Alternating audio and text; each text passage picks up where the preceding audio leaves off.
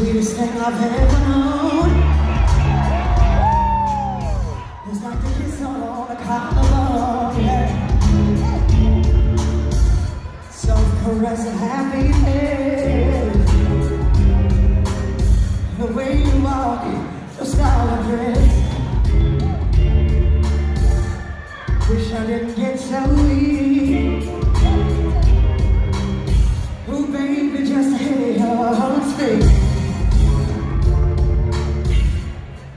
me off you just to see.